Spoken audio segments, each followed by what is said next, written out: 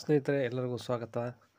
ಈ ವಿಡಿಯೋದಲ್ಲಿ ಸಮಗ್ರ ಶಿಕ್ಷಣ ಕರ್ನಾಟಕ ರಾಜ್ಯ ಯೋಜನಾ ನಿರ್ದೇಶಕ ಕಚೇರಿಯಿಂದ ಶಾಲಾ ಕಾಲೇಜುಗಳ ಹಂತದಲ್ಲಿ ಇಕೋ ಕ್ಲಬ್ ಕಾರ್ಯಕ್ರಮದಡಿ ಪರಿಸರ ಸಂರಕ್ಷಣೆ ಕುರಿತ ಚಟುವಟಿಕೆಗಳನ್ನು ಹಮ್ಮಿಕೊಳ್ಳುವ ಸಲುವಾಗಿ ಅನುದಾನವನ್ನು ಏನು ಮಂಜೂರು ಮಾಡಲಾಗಿರುತ್ತೆ, ಅದರ ವಿವರಗಳನ್ನ ನಾವು ನೋಡ್ತಾ ಹೋಗೋಣ.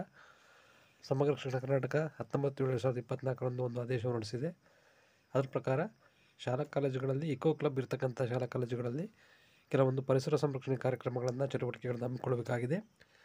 ಅವುಗಳ ವಿವರಗಳು ಏನು ಅಂತಕ್ಕಂಥದ್ದನ್ನು ನಾವು ಈ ಆರ್ಡ್ರಲ್ಲಿ ನೋಡ್ತಾ ಹೋಗ್ಬೋದು.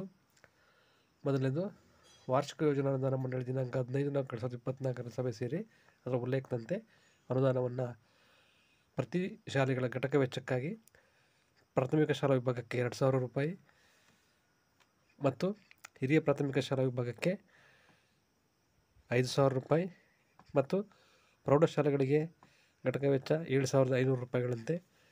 ಒಟ್ಟು ನಾನ್ನೂರ ಐದು ಪಾಯಿಂಟ್ ಏಳು ಐದು ಲಕ್ಷಗಳ ಅನುದಾನವನ್ನು ಮಂಜೂರು ಮಾಡಿರುತ್ತೆ ಅನುಮೋದನೆಯಾಗಿರುತ್ತೆ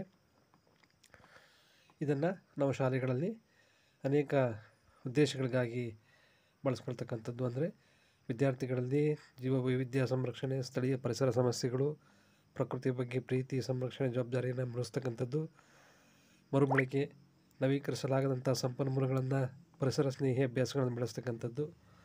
ಹೀಗೆ ಹಲವಾರು ಉದ್ದೇಶಗಳಿಗಾಗಿ ನಾವು ಈ ಅನುದಾನವನ್ನು ಬಳಸ್ಕೊಳ್ಬೋದಾಗಿರುತ್ತೆ. ಜೊತೆಗೆ ಶಾಲೆಗಳಲ್ಲಿ ಗಿಡ ಮರಗಳನ್ನು ನೆಡ್ತಕ್ಕಂಥದ್ದು, ಪರಿಸರ ಸಂರಕ್ಷಣೆ ಅಂಗವಾಗಿ ನಾವು ಸಸ್ಯಗಳನ್ನ ಇಟ್ಟು ಅವುಗಳನ್ನು ಮಕ್ಕಳಿಗೆ ದತ್ತು ನೀಡ್ತಕ್ಕಂಥದ್ದು, ಅವುಗಳನ್ನು ಪೋಷಿಸುವ ಸಲುವಾಗಿ ಹಸಿರು ವಾತಾವರಣವನ್ನು ನಿರ್ಮಿಸ್ತಕ್ಕಂಥದ್ದು. ಈ ರೀತಿಯಾದಂತಹ ಬೇರೆ ಬೇರೆ ಚಟುವಟಿಕೆಗಳನ್ನು ನಾವು ಶಾಲೆಗಳಲ್ಲಿ ಹಮ್ಮಿಕೊಳ್ಬೇಕಾಗಿರುತ್ತೆ ಇದರ ಪ್ರಮುಖ ಕಾರ್ಯಕ್ರಮಗಳು ನೋಡೋದಾದ್ರೆ ನಾವು ಪ್ಲಾಸ್ಟಿಕ್ ಬಳಕೆಯಿಂದ ಉಂಟಾಗ್ತಕ್ಕಂಥ ದುಷ್ಪರಿಣಾಮ ಕುರಿತು ಮಕ್ಕಳಿಗೆ ಅರಿವು ಮೂಡಿಸ್ತಕ್ಕಂಥದ್ದು. ಶಾಲೆಗಳಲ್ಲಿ ಪ್ಲಾಸ್ಟಿಕ್ ಬಳಕೆಯನ್ನು ತ್ಯಜಿಸ್ತಕ್ಕಂಥದ್ದು. ಸಮತೋಲನ ಆಹಾರ ಬಳಕೆ ಅಭ್ಯಾಸವನ್ನು ಬೆಳೆಸುವುದು ಮತ್ತು ಕಡ್ಡಾಯವಾಗಿ ಕೈತೋಟವನ್ನು ನಿರ್ಮಿಸ್ತಕ್ಕಂಥದ್ದು. ತ್ಯಾಜ್ಯ ವಿಲೇವಾರಿ ಬಗ್ಗೆ ಮಕ್ಕಳಿಗೆ ನೀರಿನ ಮಿತಬಳಕೆಯ ಬಗ್ಗೆ, ಶಕ್ತಿಯ ಮಿತಬಳಕೆಯ ಬಗ್ಗೆ ಅರಿವು ಮೂಡಿಸ್ತಕ್ಕಂಥದ್ದು, ಜಾಥಾಗಳನ್ನು ಮಾಡ್ತಕ್ಕಂಥದ್ದು.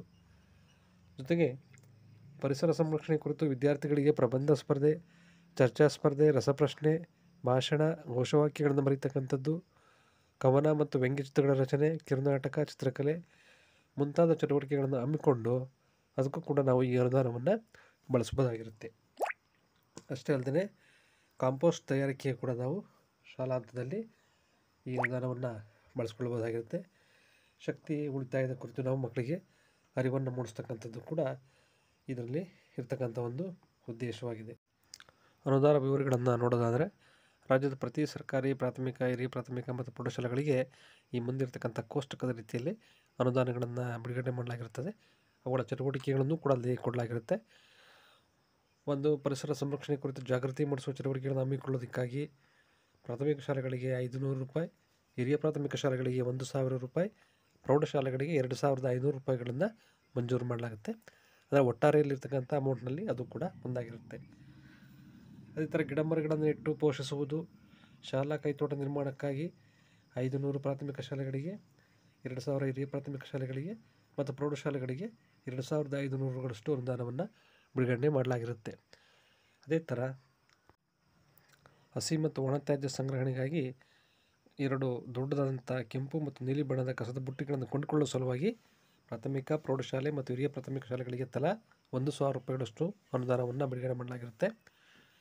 ಜೊತೆಗೆ ವನಭೇಟಿ, ಪ್ರಕೃತಿ ನಡಿಗೆ ಮತ್ತು ಪರಿಸರ ವೀಕ್ಷಣೆಗಾಗಿ ಪ್ರಾಥಮಿಕ ಶಾಲೆಯನ್ನು ಹೊರತುಪಡಿಸಿ ಹಿರಿಯ ಪ್ರಾಥಮಿಕ ಶಾಲೆಗೆ ಒಂದು ಸಾವಿರ ಮತ್ತು ಪ್ರೌಢಶಾಲೆಗೆ ಒಂದು ಸಾವಿರದ ಐದುನೂರು ರೂಪಾಯಿಷ್ಟು ಅನುದಾನವನ್ನು ಇದರೊಳಗಡೆ ಮೀಸಲಿಡಲಾಗಿದೆ ಅಂದರೆ ಒಟ್ಟಾರೆ ಪ್ರಾಥಮಿಕ ಶಾಲೆಗೆ ಎರಡು ಸಾವಿರ, ಹಿರಿಯ ಪ್ರಾಥಮಿಕ ಶಾಲೆಗೆ ಐದು ಸಾವಿರ ಮತ್ತು ಪ್ರೌಢಶಾಲೆಗಳಿಗೆ ಏಳು ಸಾವಿರದ ಐನೂರಷ್ಟು ಅನುದಾನವನ್ನು ನೀಡಲಾಗಿರುತ್ತೆ.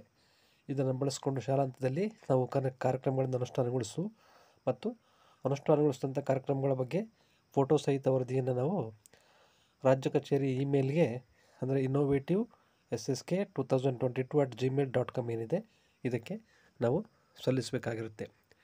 ಈ ರೀತಿಯಾಗಿ ಇಕೋ ಕ್ಲಬ್ನ ಅನುದಾನಗಳನ್ನು ನಾವು ಬಳಸ್ಕೊಂಡು ಮಕ್ಕಳಲ್ಲಿ ಪರಿಸರದ ಬಗ್ಗೆ, ಜಾಗೃತಿಯನ್ನು, ಪ್ರೀತಿಯನ್ನು ಮತ್ತು ಪರಿಸರದ ಸಮಸ್ಯೆಗಳ ಬಗ್ಗೆ ಬೆಳಕನ್ನು ಚೆಲ್ತಕ್ಕಂಥ ಕಾರ್ಯಕ್ರಮಗಳನ್ನು ಮಾಡ್ಬೋದಾಗಿರುತ್ತೆ